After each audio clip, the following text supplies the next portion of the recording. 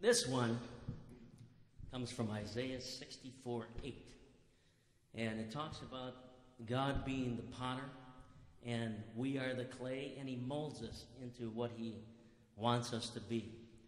And the great part about having the saving knowledge of Jesus Christ is that when we fail, which we always do, and our vessel, our, our potter vessel, breaks into little pieces, He just doesn't leave us there and then go on His way. He actually picks up the pieces, puts us back together, and sends us on our way.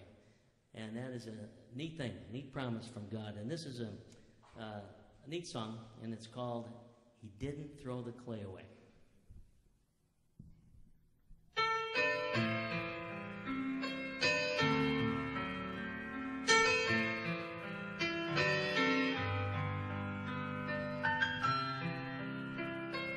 Empty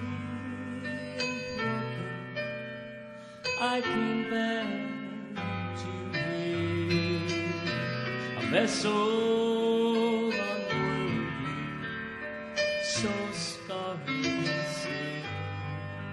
But He did not despair.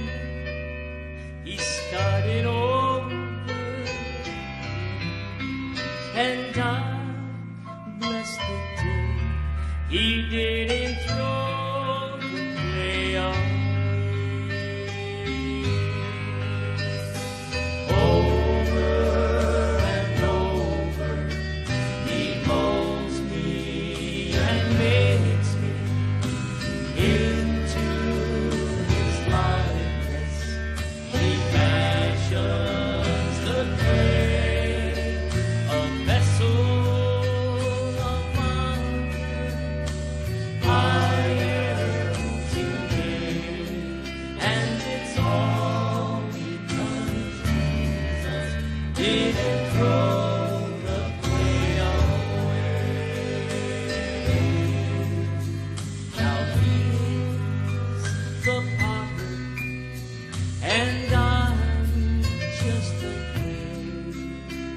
But more than it is He wants me to stay.